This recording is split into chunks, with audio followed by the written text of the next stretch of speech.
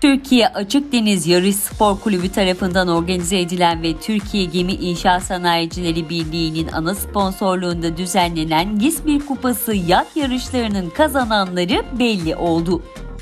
Geçtiğimiz 17-18 Haziran tarihlerinde 41 yelkenli yat İstanbul Cadde Bostan ve Adalar arası parkurunda GİSBİR Kupası yat yarışları için kıyasıya bir mücadele sergiledi heyecan dolu ve birbirinden renkli anların yaşandığı yarışlarda IRC 0, 1, 2, 3 ve 4 gruplarında yer alan tekneler birincilik için yarıştı.